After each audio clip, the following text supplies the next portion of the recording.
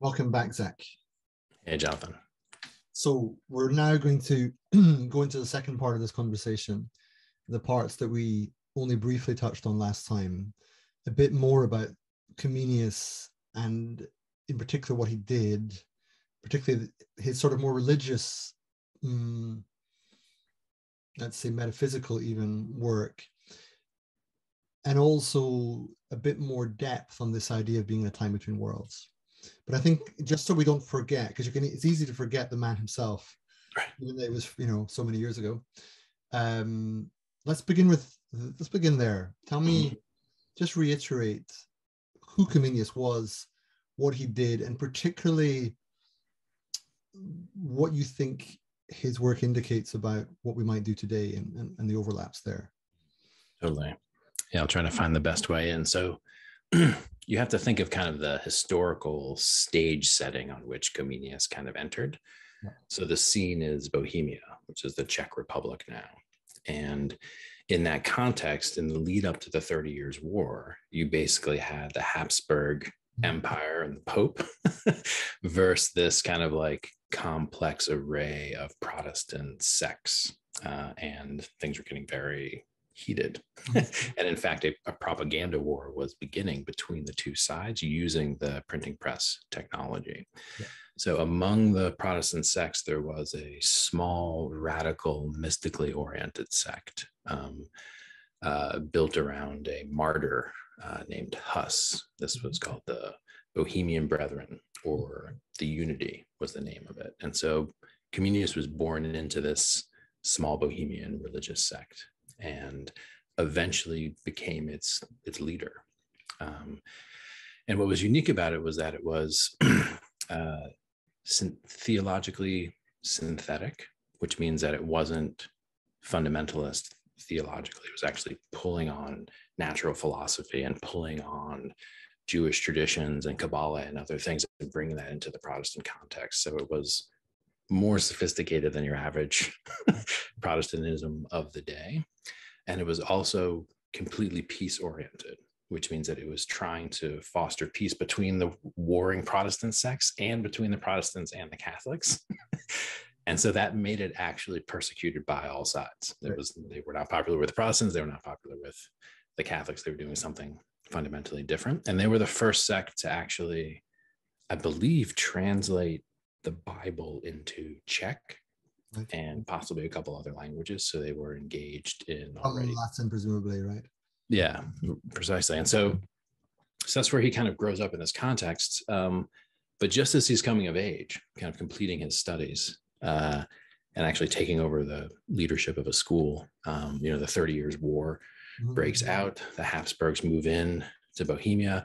Mm-hmm. All the Protestants basically flee uh, Bohemia. The Brethren flee Bohemia. They are sheltered by various Protestant aristocrats. Um, literally, Comenius loses two wives to this kind of activity. He's hiding in the mountains with his manuscripts, you know, and if he gets caught, he gets basically the Inquisition type treatment. His his political and religious exile. He's a political and religious exile. Um, he eventually, uh, so in that context, he remains incredibly productive. And this is how I, I don't understand how this works because I'm like dyslexic and I use a computer and I, but somehow this man with just like a quill and ink and loose papers manages to create a tremendous amount of work and remarkably innovative work in the realm of education in particular. Um, so he lands himself in the protection. I can't remember the aristocrat's name, but of a Protestant aristocrat. From there, he kind of begins to issue out his educational writings and his religious and theological writings, which I don't even touch on in this paper. You do touch on them but, briefly. But yeah, yeah, that's what I'm keen to know a little bit more about as well. Yeah, and so, so in that context, he he creates uh, a book that became basically world famous. Uh, it was called the the door. Uh, uh, it's something like the doorways of language, or the doorways into language. This is his first kind of picture book instructional manual. Uh, and then following that, you get the Orbis Pictus, which I discuss a lot in the in the Perspectiva paper. Um, and in both of those cases, Comenius was doing something incredibly novel mm-hmm. with printing press technology, actually inspired by the propaganda that he was seeing. Right. So, the propaganda during the 30 Years' War, you're dealing with mostly an illiterate population. So, you're dealing with propaganda that's image based and right. then images that are basically discussed beneath it. And so you get a bunch of people gathered around in the town square. One of them can read. Everyone's looking at the image. The one person who can read is like narrating the image, right? I can show a few images from share a screen if you'd like me to. Shall I do that? Just that'd be great. Yeah, because this is a this is a sense of like just what blew people's minds open. Because yeah. Comenius was able with a book to create basically the first textbook, first picture book, right? That was teaching people Latin uh, and vocabulary um, all around the world. Right. So you can see this now, right? Yes. I'm hoping this is also being recorded. But that's Comenius, the man himself, on the back of the banknote. Jan Amos. Yeah, so yeah, the, the Czech Republic honors Comenius quite intensively, and so they put his picture on the 200 Dutch, crown. Dutch friends and colleagues who tell me that there are lots of street names and stuff named after him as well. Yes. Um, and then this one here is Comenius in his study, by the looks of it. Um, yes. Page of Didacta, right? Yeah. And then just giving people a flavor of this. This looks a bit more like the.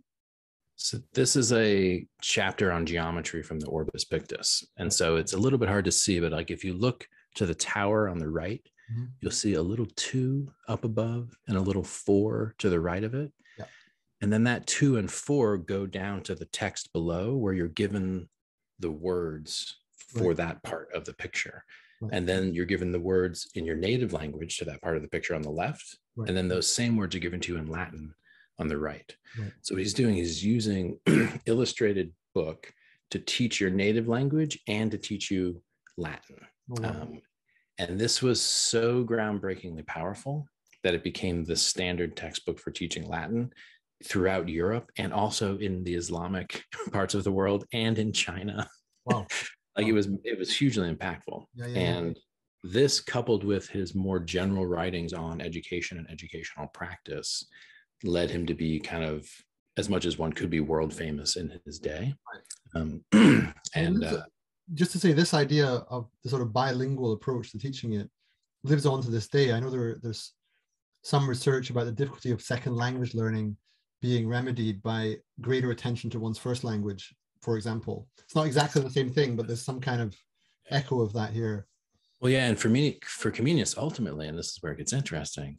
This was part of his pan-Sophic, which is to say, a universal wisdom uh, framework for integrating humanity. Because his goal was to teach you your native language, but to also have every human speaking Latin, so that there would be so that there would be a universal language, um, and that was a prerequisite for him uh, that we couldn't move forward as a planetary civilization without some common language.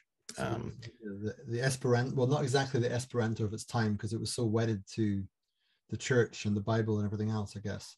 Um, yeah, it was very much a Latin centric uh, perspective. And I'm just, there's a few more, so I just want to. Yeah, so this is the tailor. And so here you're seeing the beginnings of more complex divisions of labor in medieval societies. And there are other plates that include navigation um, and waterworks like uh, you know wheel turning mills um, uh, and it's the same principle here where you're learning about how the tailor does their thing and you're learning about your language and you're learning latin all right. from the same picture essentially i just love the again on the bit of the left which i can read the tailor cutteth cloth with shears and seweth it together with with a needle and double thread.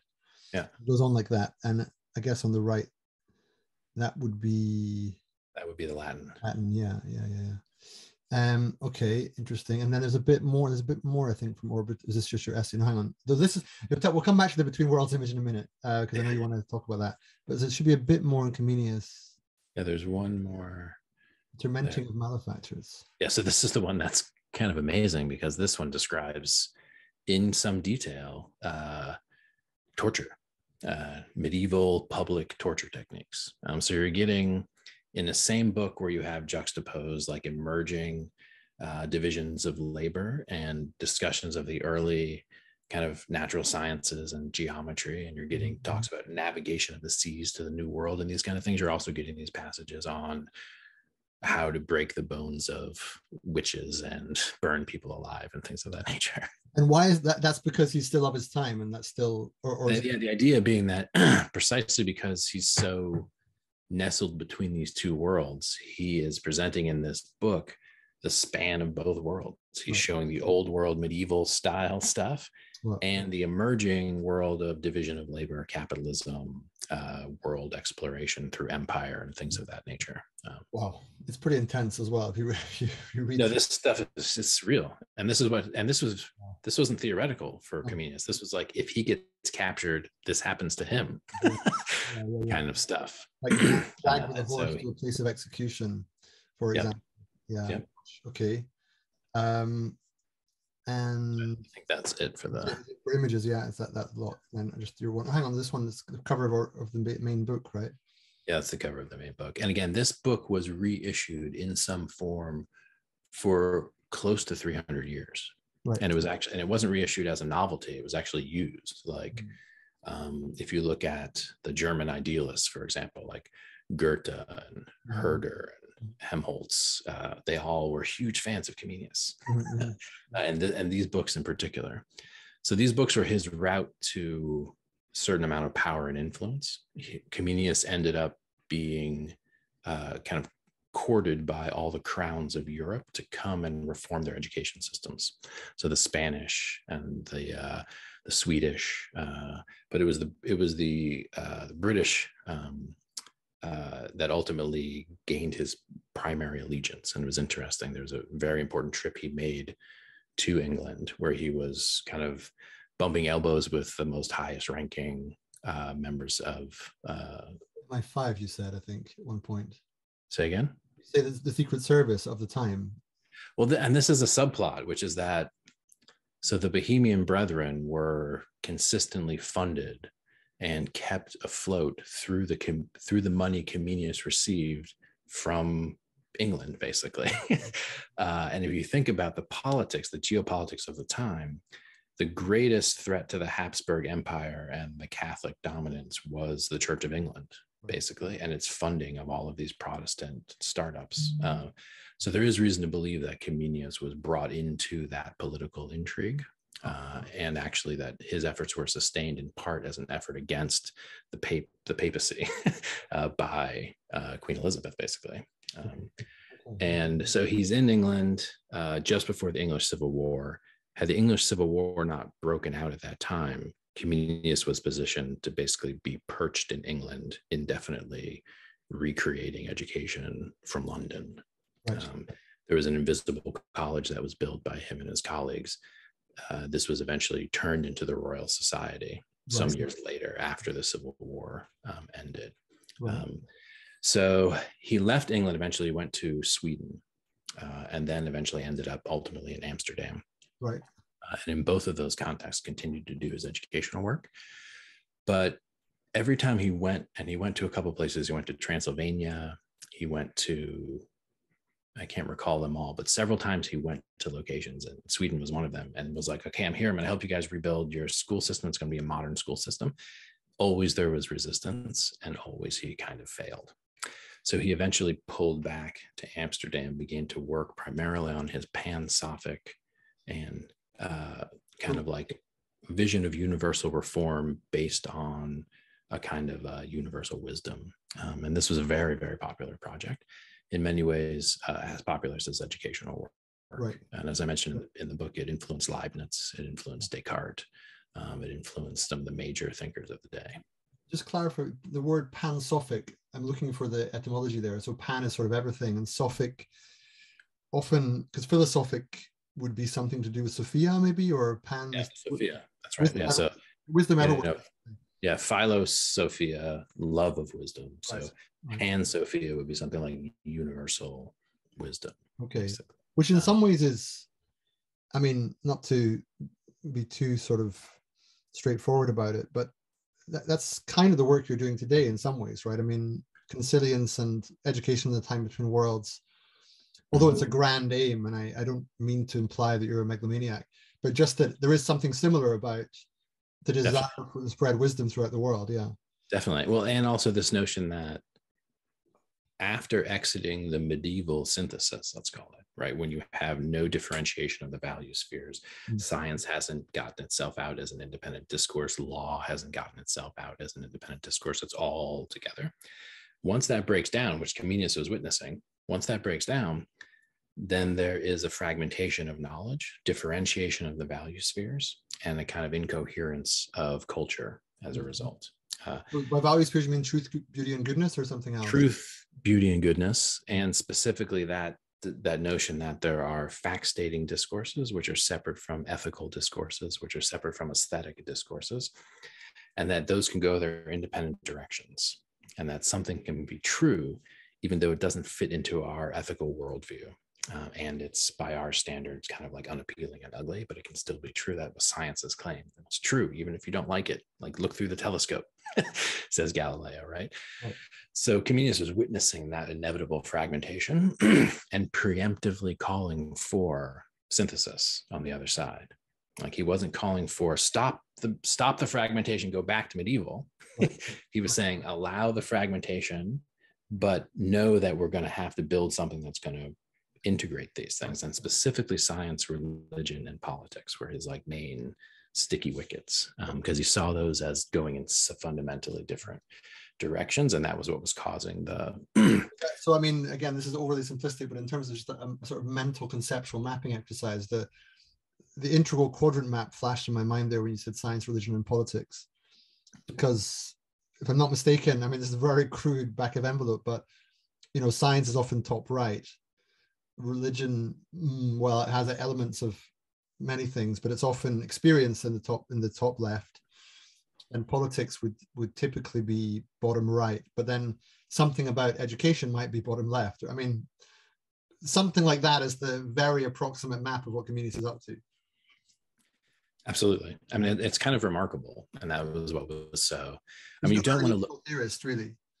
And I, yeah he was there was he as i said he was meta modern before modernity emerged like there was a path not taken with comenius Right. which could have set up modernity to be less pathological. That's kind of one of the arguments that I'm making is that um, had we taken the fullness of his vision and specifically the cooperative effort that he was recommending between major players in the emerging modern scene, Right.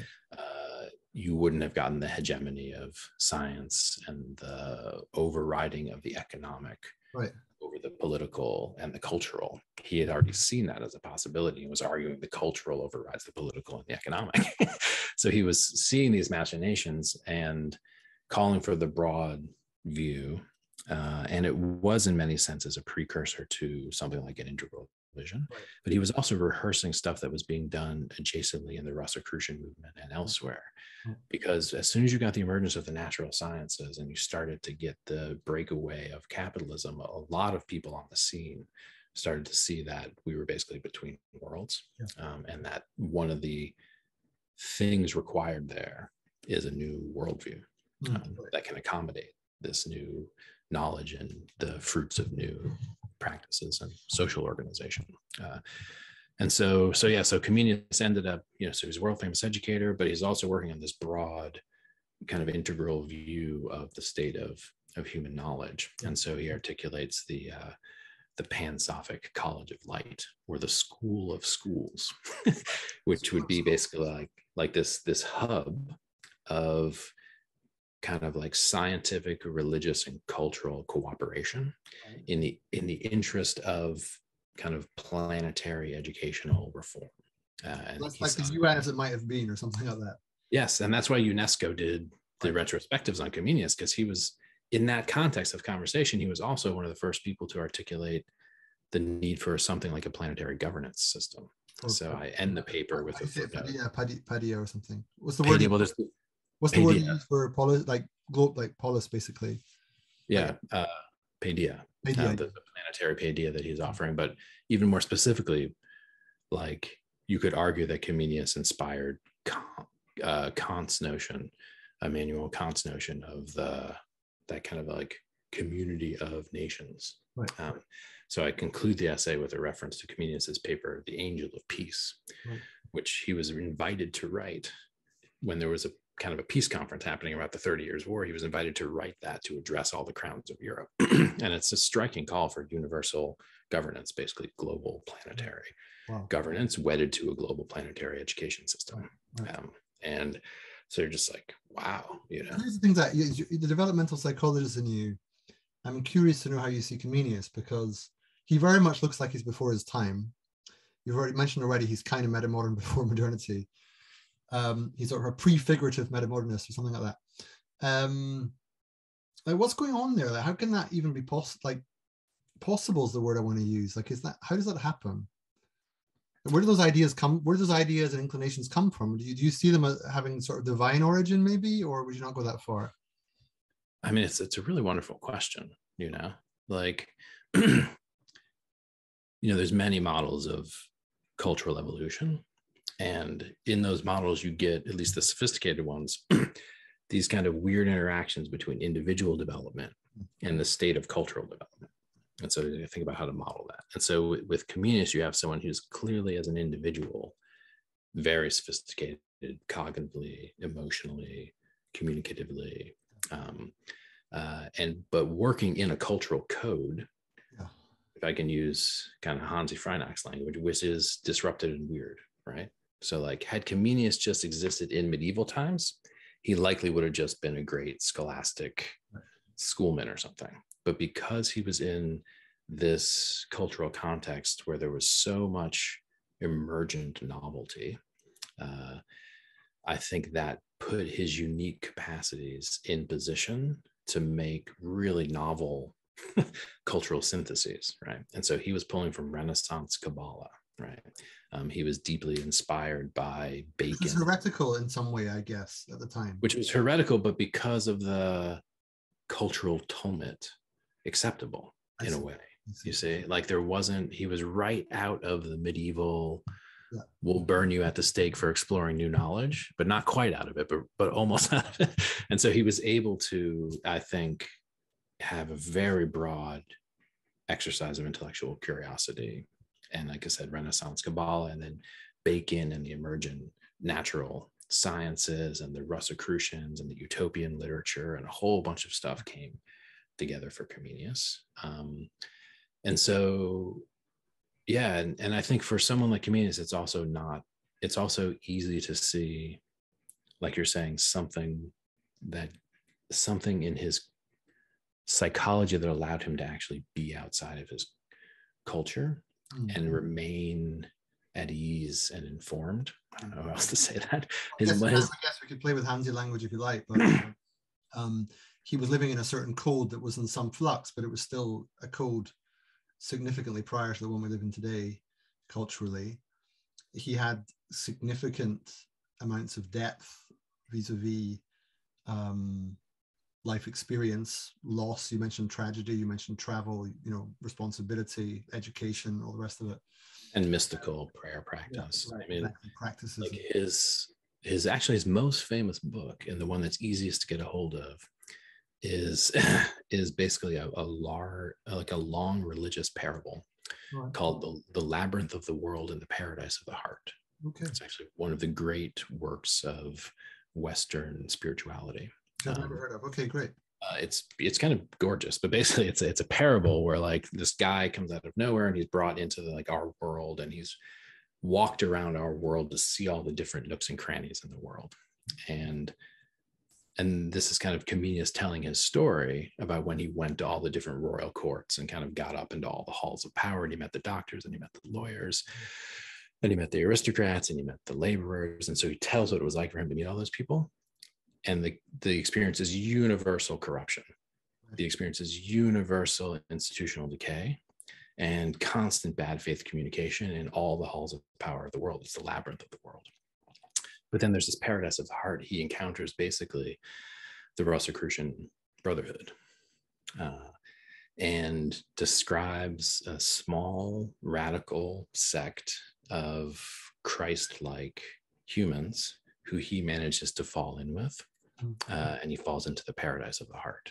Um, And so this is what I'm referring to. There's something in his being that allowed him to face the chaos and violence of his time and the total corruption and the complete simulation of reality. He actually uses that word. Uh, and the and the bad, 400 years before exactly and the bad faith communication he's able to confront that and yet have refuge in this paradise in his heart which is some mystical commitment to christ and god which he sees himself as fulfilling. Um, and so that's important to get is that some of his courage and i think like the audacity of the vision comes not from the intellect but from the heart. Um, and so his draw towards a new kind of humanity even though what he's witnessing everywhere is total corruption and, and violence and oppression yeah. still sees that there's this possibility for this emergent new form of human and education is the way to do that to rehumanize. Right. And just to be clear that there's a lovely part of your essay i think i also quoted it somewhere but the I, I remember when i studied philosophy as an undergraduate when you come to spinoza very early on you get this expression and i'm going to mess up the latin but it's subspecia aeternitatis or whatever under the aspect of eternity like how things look. And then in comenius you get this expression subspecia educationis or something like that. Yeah. It's like life under the aspect of education. But, but our modern day world is arguably subspecia economicus right? Which is part of the problem.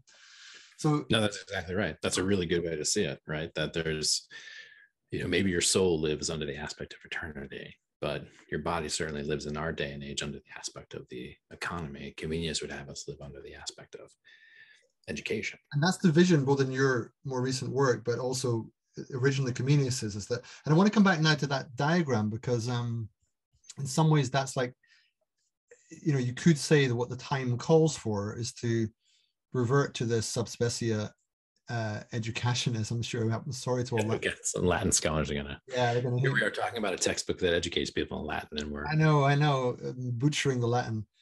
Um, right. So Zak, you came up with this diagram. I remember you sharing me when you had this in draft form talk me through what's going on here. Rather striking. This is your way of explaining what it means to be in a time between worlds visually. So talk us through it. Yeah, I mean, this is a deeply problematic figure. ah, they all are, but yeah. You know what I mean? Um, so, but I can speak to it. So, so basically, I'm this figure synthesizes a bunch of really different, like like paradigmatically and methodologically different views of big history right? Like law. Say again. I, I, said you're forgiven. Yeah. I, I, I know what you mean. I mean, you're talking about, you know, um, secular cycles on the one hand, and sort of um, what do they call it, cliodynamics on the other, and, yeah, and Gebser. yeah, all the yeah, Aurobindo, all these different different right. kinds of bodies of knowledge. But nonetheless, it's interesting the synthesis. So talk us through it. Yeah, so so this is an attempt to pull all of these together. And so what this is, is, you know, there's many centuries here between 1400 and 2100. So there's a timeline at the bottom. Uh, and then I've got the, if you take the staircase there, this is lifted basically directly from the wall, uh, world systems theorists. And this is their model uh, after the emergence of capitalism. Uh, that you get a transition between major economic hegemons that are running the capitalist world system. It begins uh, in Venice, then it goes to Amsterdam, and it goes to London, then it goes to New York City, basically.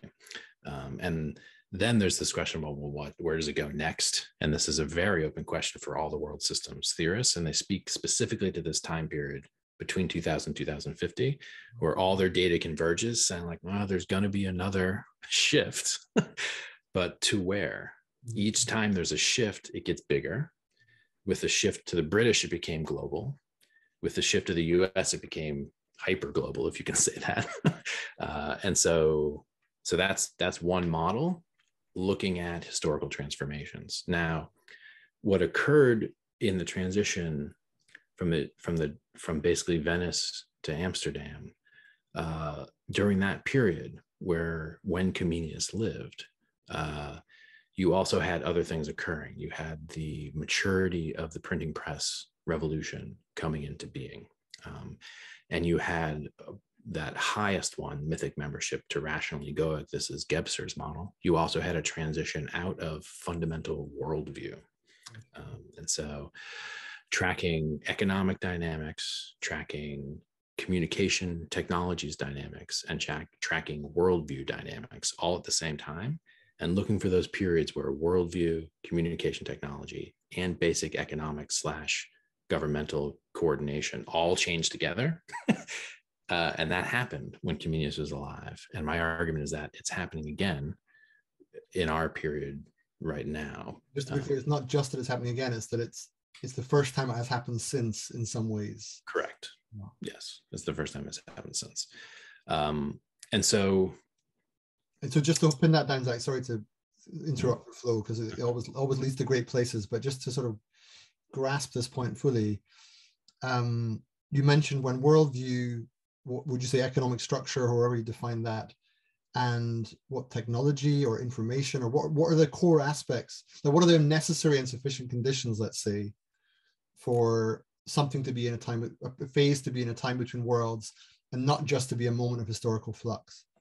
Right yeah. Well that's the thing. So like there are many moments of historical flux. That's mm. the idea. And by some definitions the experience of radical historical flux for the people going through it would be experienced like a time between worlds, but it's not by my definition, technically. By my definition, technically, time between worlds affect whole world systems, not okay. subcomponents or cultures within a world system. Okay.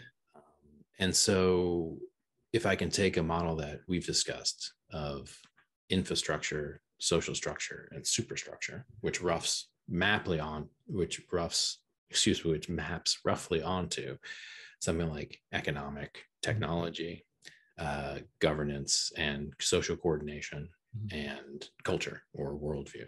So those three. So what you're looking at is when all of those three are basically being fundamentally restructured simultaneously. And being by historical forces broadly conceived. Being by historical forces broadly conceived. And this is where all of this modeling becomes a little bit dubious because it becomes difficult to talk about the causality. Like, how does this actually work? Why is it that during some historical periods there's a convergence of major changes, whereas in other ones you're only getting subtle changes to some of the components, right? Um, uh, and so I think basically the argument is uh, that the last time the social system the techno-economic base and the cultural realities changed this drastically all at once was around the turn of the 17th century, which right. the time that Comenius was living, when you had printing press, capitalism, the the lead up to the bourgeois democratic revolutions, right. um, and the birth of science and the end of the medieval synthesis. Um, you got uh, something now, like I mean, very approximately again, with all due qualifications. But back then, you have sort of breakdown in value spheres, emergence of science, sort of spreading of the printing press, in early days of capitalism, um, maybe introduction of nation states. So fairly radical, and then and as a result of that, a kind of general cultural turbulence leading to changes in religious affiliation and maybe intermarriages, or I don't know exactly how you would play that out, but how would you describe the cultural change that happened in Comenius's time? What would what would characterize it?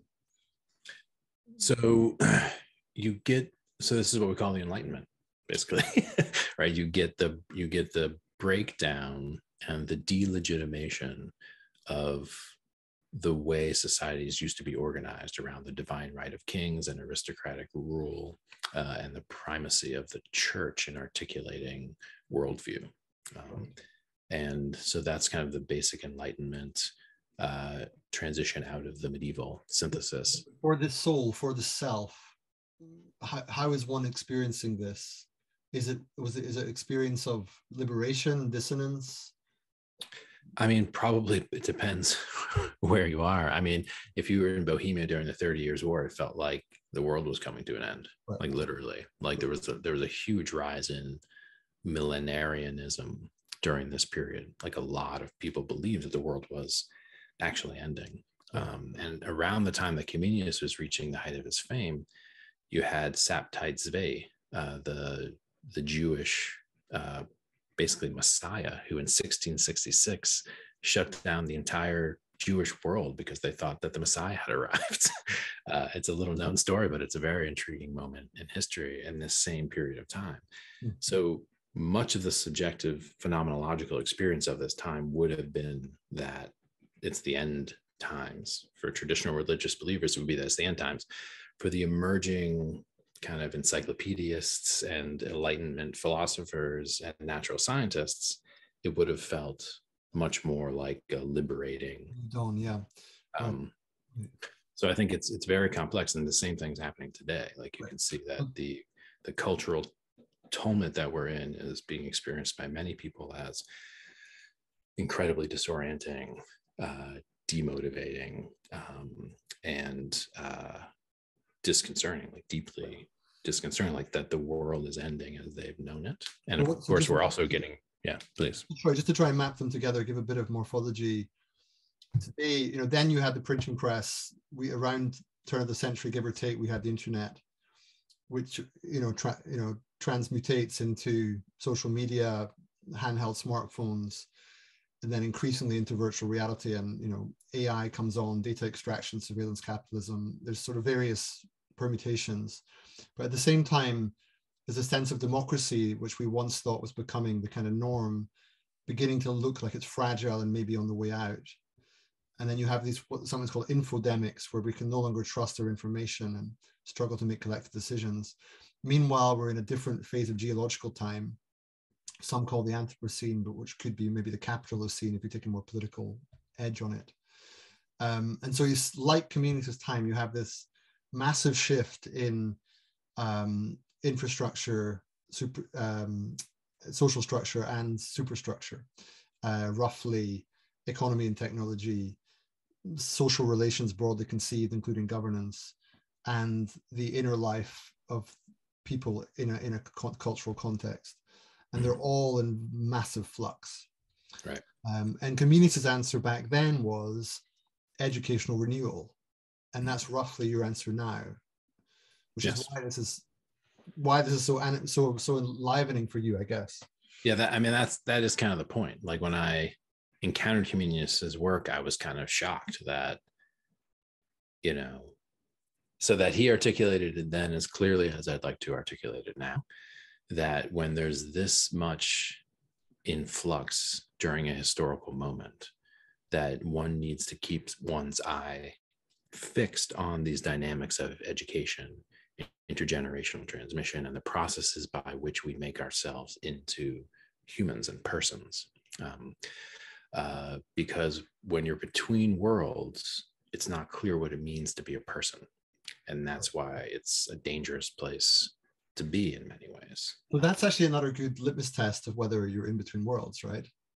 Is it yeah. clear what it means to be a person or not? Is it clear what it means to be a person, what the obligations to other people are, what the nature of the world one lives in is um, all of those background consensus like get disrupted right. and what that means is a huge opportunity educationally because there's a, such a pressing need for greater coherence of worldview and identity uh, and greater opportunity for richer communication as reality gets more complex so it's kind of one of those crisis opportunity things you have to see when you're in these moments. Um, and again, the, the model here and the figure and even the discussion is in some ways heuristic. I mean, there's many other ways in, right? Like at the same time, uh, there were energy crises during the turn of the 17th century. Really? Uh, well, because the source of energy was wood.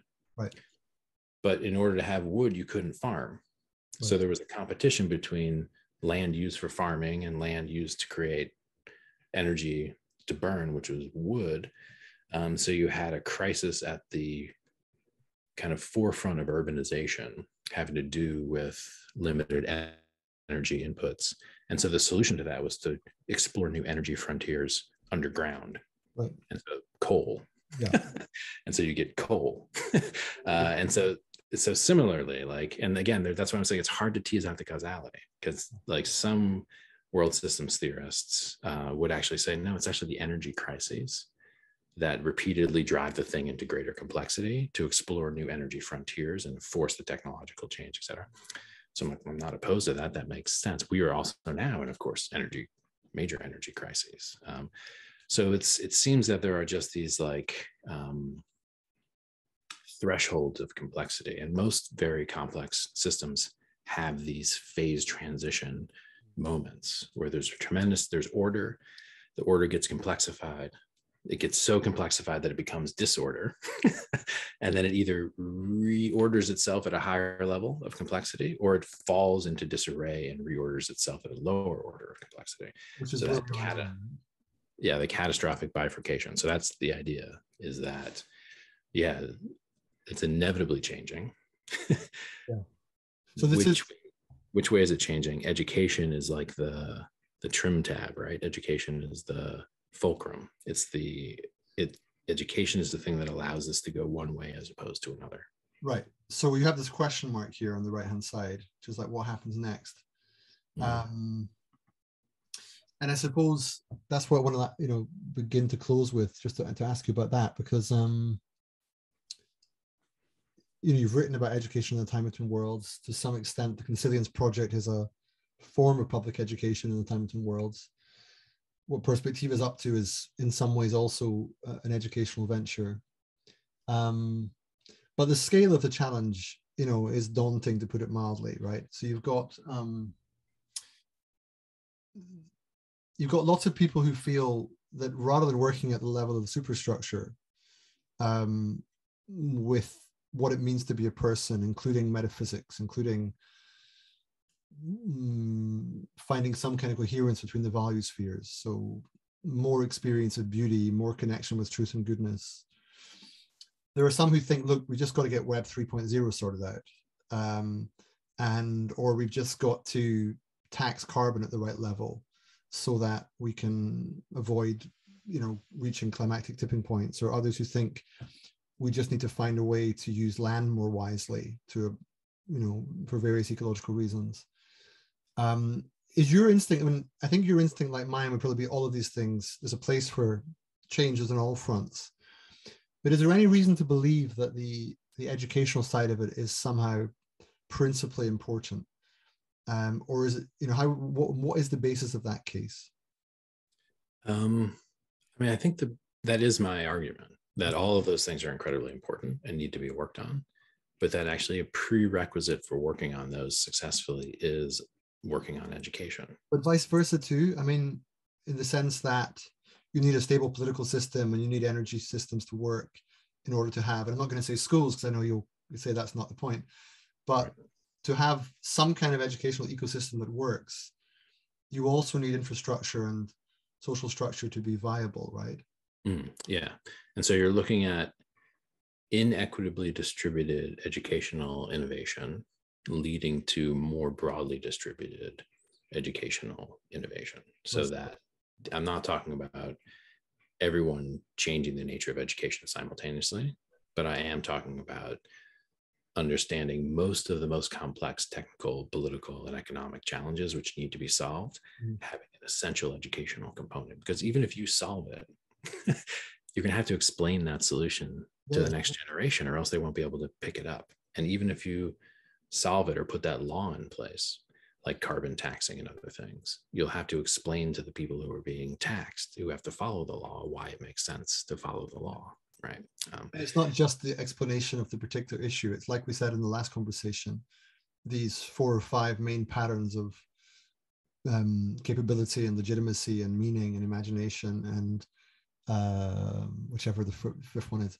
But um, you know, there are these undercurrents that comprise education that you need to have a functioning society at all, to have any kind of effective social organization or self-organization. Yeah. People need and to it, grapple with these issues. Yeah. Well, and it's worth noting that like when we say education, most people will think like a school or something, but that's not what we're talking about. And education is actually also not just a superstructure endeavor. It's right. worth noting. Like so Comenius innovated at the level of infrastructure right. with the printing press and the distribution of his textbooks uh, in order to promote education. So, in some sense, the educational solution doesn't rule out major technological innovations. In fact, that's what I call for. Like, right. uh, the digital is, in some sense, has to be part of the solution here, yeah. um, which means that much of the education reform being called for is actually a trend is a reform of educational technology basically like okay. uh, so then what's the link so is there i mean this might be a little bit beyond the scope and i haven't asked you to prepare it but you know insofar as i understand you know i know that you know you've worked in the past with jordan hall for example and he's very excited about web 3.0 and he thinks that somehow we have to make the the combination of the relationship to money and the fact that the sort of political economy of Web 3.0 is endogenous to it and not exogenous as it is now. That somehow, you know, the moment you have the web, and okay, all sorts of stuff happens, but still the infrastructure of the political economy exists mostly outside of it. Um, whereas, as I understand it, with Web 3.0, if some people are speaking of it as being the basis of a new political economy, the only reason to bring up that up now is if it's true what you say that education exists across infrastructure, social structure, and superstructure. How does that look like? Well, give me give me some flavor for what that would might mean. Um, where is education in Web 3.0 would be one way of putting that question. Totally. I mean, it, it's interesting, right? Because that emergent possibility of digital technology to create a nexus for education, finance, governance that basically instead of software eating just a little bit of the world, that software eats the entire world, uh, is exactly the kind of thing that um, was facing. It was just different, right? So Comenius was facing a situation where uh, capitalism was about to eat the whole world. um, and, it, and it did, you know, and it, it started out as just some things were handled by market dynamics. And then with the printing press and the record keeping that that allowed and all the related things, it became clear that we could actually, with the capitalism could eat the whole world. and so similarly, there's a situation where something so fundamental is emerging that it's going to eat the, the whole world. And so I actually kind of agree with that premise. I don't know what to make of it. And I'm not well versed enough in Web3 to kind of articulate the various possible futures that that has in store. Um, but I do know that the possibility for virtual reality uh, is very double-edged sword from the perspective for education. It's just worth noting, like teacherly authority is uh, a non-trivial um, aspect here.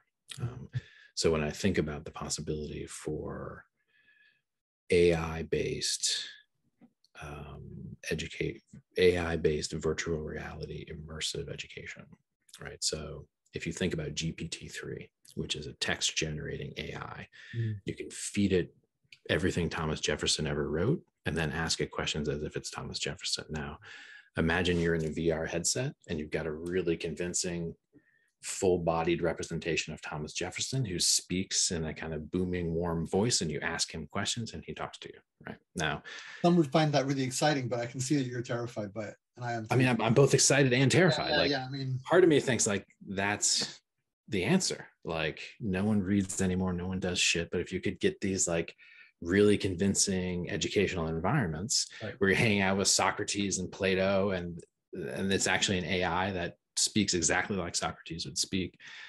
So you can see how that's quite exciting, but you can also see how that is, in some sense, a complete nightmare from the perspective of embodied teacherly right. authority and intergenerational transmission. Because what happens if someone subtly tweaks that Thomas Jefferson algorithm sure. so that Thomas Jefferson starts saying stuff that's like a little. But it's weird. worse than just tweaking. Like you said yourself, you have this problem of epistemic debt, right? You have this problem yeah. of programmers in AI now often working in a way that they don't actually know where the answer, they have theoryless knowledge. They don't know where the answer came from. Exactly. They believe it works, but the test of what it means to work is an ethical one. Right. So it's so that that's an example where I can see it coming fast. Like there's going to be major venture capital investment in for-profit VR-based education. Like it's, it's bringing Socrates back to life, right? And that kind of bringing thing. Socrates back to life. But now, but we have the Jurassic Park scenario, right, where it's like. careful what you do. Not escape, not quite, but yeah. But you can't, you can't, you can't predict what is going to occur when you create educational environments this powerful. And in the propaganda series on consilience that I was involved with, we give that scenario in the first paper on information war of what happens when that same technology that could be used to like blow your mind open with Socratic dialogue could be used to micro target political propaganda at you. Um, and so that's that kind of like dance with the devil that emerges as Web3 emerges. Um, but does this uh, come back? Sorry, no, and, but does this, I mean, it just feels like it comes back to power again. I mean, it's a bit dull to say that, but in a mm-hmm. sense, it's less about the education or the technology in some ways than it is about who's in control of it and what they're seeking from it. And that's yeah. ultimately a political battle or something else too. I mean, it, it is, and that's the uh, that's the real that's one of the most important geopolitical things occurring right now is the battle over the future of Web three. Right. Will it be a centralized kind of like you know business as usual tech company undertaking, mm-hmm. or will it become a decentralized, basically, uh, kind of people's movement that is not for profit? Um, how will that? How what? How will you know? If you ask me, how will I determine which of the two sides will win a war? I would speak about who's got the better weapons, who's got the better strategist, whatever. Who, what will determine who wins that battle? Uh, I mean, I think the battle is baked in to favor the distributed solutions. Uh-huh. Um, that's good to hear. Uh, which is to say, like, it's not actually really going to be Web3 right. unless it's built in a distributed way. Otherwise, it will be it's some web, weird web, thing pretending to be Web3 that's web I see, I see. Web2. And so I think if we keep the vision of what is possible here and keep holding to that, then the only way to reach it is through some distributed system. Now, I think the sleeping thing here in all of this are the are the atoms. So there's bits and we can do all the manipulating of bits that we want but at the end of the day that cashes out in actual atoms which is to say like electricity rare earth minerals uh, and the hardware. Uh, and so that's where i see most of these conversations. I'm like well what, what are you guys going to do right? Because the energy demands on blockchain are way too massive to sustain. The rare earth minerals needed to create the hardware and upgrade the hardware are way too difficult to extract. The multinational supply chains that create electronics are about to be geopolitically disrupted when China takes over Taiwan in order to get the microchip manufacturing supremacy. Um, so part of me thinks like, I don't know, guys. like, what? Uh, how is this really going to work? And let's not put all our eggs in that basket. And remember that we did education for hundreds and hundreds of thousands of years uh, with very little uh, technological accoutrement. At the, at the end of the day, the only material you need for education is a couple people and some as- and asymmetries of, of epistemics. Um, and so I remember, so, Malala, Malala Malala, the um, girl who was shot shot in Afghanistan, I think. Yes. Pakistan. Afghanistan, yeah. Um, she had a statement. She used to sort of say one boot, one pen. She had some kind of mantra like that. Mm-hmm. was just saying that's all you need. One book, one pen, one, I mean, it was one chair. I can't remember what she added, but it was very much analog. It was like yeah and that's another way that goes like there's going to be that too you will get a kind of neo-luddite reactionary pullback from educational technologies mm. into more you know analog simplistic right. and that's it's hard to argue against that most of the people in silicon valley as i understand it send their kids to waldorf schools yeah. that don't use screens right uh, so i think so that's worth noting too is that as much as we can put some hope in a kind of high tech educational future and that we actually really need to pay attention to that because that's coming in most of the energy and, and money is going there. We also need to keep an eye on the opportunities for kind of quote unquote returning to those more basic forms of analog education. And my sense is that those more value will come to be placed on those the deeper we go into virtual reality. Um, and then you'll get some kind of cultural cleavage around around that. Um, like I can I could see reactions to Web three being quite profound. I mean, there were people who believed that literally that the images and text created by the printing press were basically created by the devil.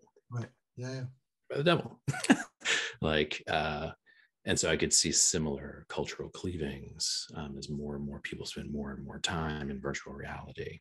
Um, that you get more and more people strongly objecting to that practice and demanding a return to uh, non-virtual. Right, non, virtual It's funny. It reminds me of the joke about you know a, a, woman in China going out for Chinese food or food as they call it here. It's a bit like that with virtual reality. It's like you know not exactly. reality or reality as we used to call it. Yeah. Well, and and of course there's problems even in that discussion. Like many contemporary philosophers of mind and other things take the simulation hypothesis very seriously. For example. Yeah. Yeah. Um, David Chalmers' new book, Reality Plus, is all about virtual worlds and things. Yeah, like I, someone gave it to me. Yeah, I haven't read it yet. Yeah, and so, so that's a whole, and it's way beyond the scope here, but that's a whole other topic of conversation about kind of like uh, the way digital worlds and virtual worlds are disrupting our understanding of this world and the kind of um, like if I could take McGilchrist against Chalmers, I would say something like the kind of myopic left hemisphere view that could ever entertain the idea that this is a simulation seriously uh, is part of the culture now that we actually have people. Well, it's, I mean, McGilchrist would say it, it's it's a kind of hegemon in a sense. You know, the yes. mix, mixed theorists rather a lot, but hegemon, and it's a little bit kind of insane. Yeah, to think that this is a computer, and it's even power hungry in a certain kind of way. Um, although I've seen Iain taken to task for that because at a certain point when you're speaking of a sort of a form of attention grounded in the hemisphere and you start using words like power you're using you know too many levels of analysis mm-hmm. and play. But um that's interesting. All very interesting. Um but it's way beyond you know. Yeah, we've gone quite far yeah but yeah. Great. Well listen thanks it's really been a very rich chat and um i'd encourage everyone watching to read the essay that's on perspectiva's website it's also in the show notes um and you'll get a better sense of all the things we've just spoken about here and in our previous video, part one. Um, I think that's all to say for now. Is that all good for you, Zak? Yeah, totally. I mean, it's it's wonderful to just have an opportunity to bring Comenius back uh, in front of people. And you're sure you're not a reincarnation of Comenius, right? I mean, I, I can't be sure of that. I can neither confirm nor deny that. You confirm. Okay, good. We'll leave it there. Thanks a lot. See you. Bye bye.